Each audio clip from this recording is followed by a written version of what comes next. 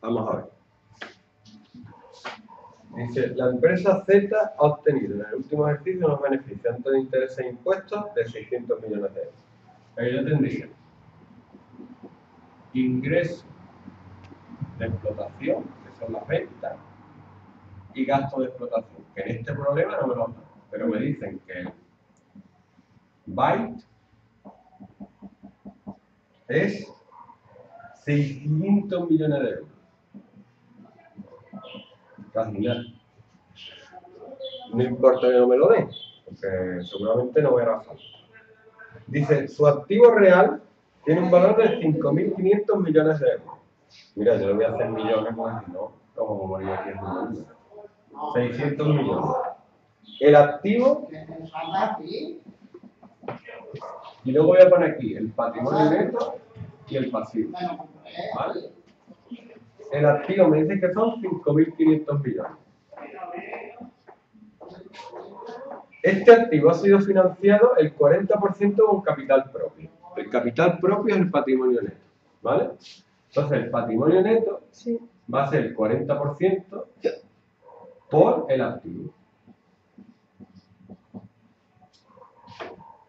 Ya, ya te ha salido más de un problema de este tipo. ¿A que sí? ¿Mm?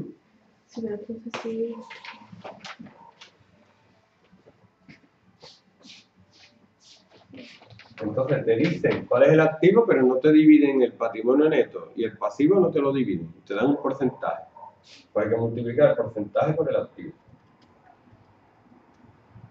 Ahora, por ejemplo, claro, entonces ya calculo porcentaje, por ejemplo, de, del pasivo, activo para que me den neto. Y el resto tiene El que, ser, el- tiene que ser pasivo, Pasivo. porque el activo es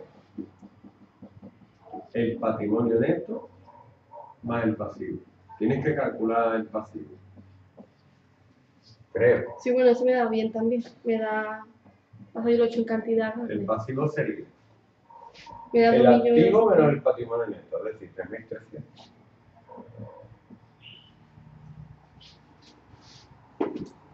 ¿Por qué te hace falta esto? ¿Por qué te lo dan? Dice que para los intereses anuales el 10%. El resto, mediante un préstamo a largo plazo, eso sería el pasivo, por el que pagan los intereses anuales el 10%. Es decir, a esto luego le tienes que quitar los ingresos financieros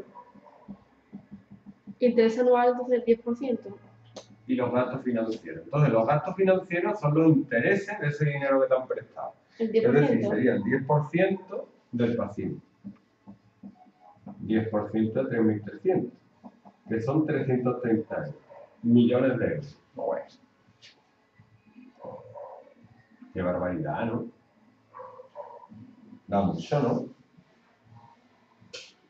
Bueno, yo hago lo que da. Si es lo que hay, es lo que hay. Y esto se lo tengo que restar para que me dé el BEI. BEI, digo, BAI, beneficio de impuestos. Que serían 270. ¿Vale? Y ahora te dicen, teniendo en cuenta que los impuestos sobre beneficios son del 30%, que es lo último que se resta aquí, y los impuestos beneficios son el 30% sobre el BAI, es decir, sería el 30% de 270.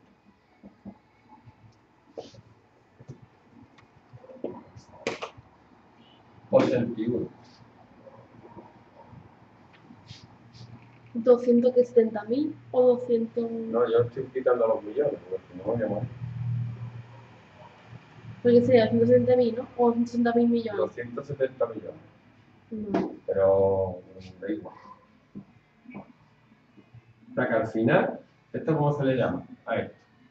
Resultado. Beneficio. ¿A resultados beneficio antes de impuestos? Y esto. Cuando le quitan impuestos o beneficio, beneficio ya está, ¿no? Ah, no, no, espérate, sí, eso el último es beneficio neto. Beneficio neto.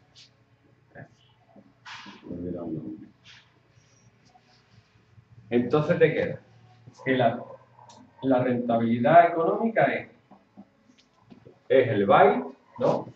Beneficio antes de interés e impuestos partido activo. ¿Sí o no?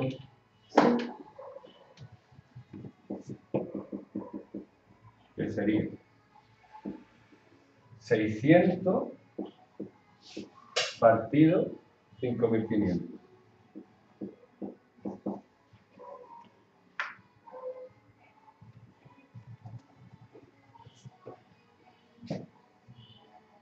Quinientos, quinientos cincuenta mil, ¿no?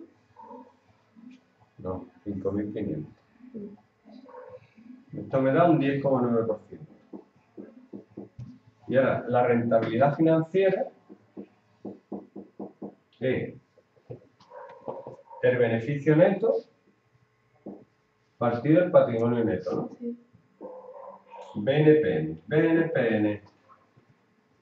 Beneficio neto es 189 partido el patrimonio neto que lo hemos calculado antes, que es 2200.